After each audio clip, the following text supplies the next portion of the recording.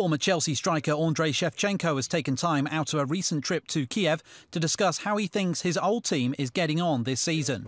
The 35 year old spent three fairly unhappy years at Stamford Bridge and said he had sympathy with the Blues record signing Fernando Torres, who is currently struggling. I think that also uh, the, uh, is so many problems, but they, they change the manager, everything is not helping the old team.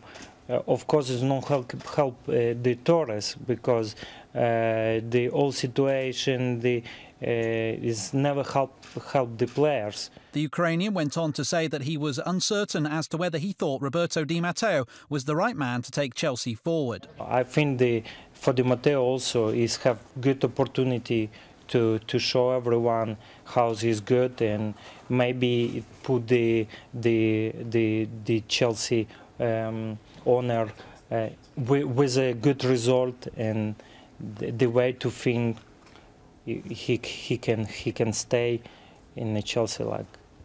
Shevchenko is currently trying to rediscover his form ahead of Euro 2012 and says his focus is solely on representing his country again.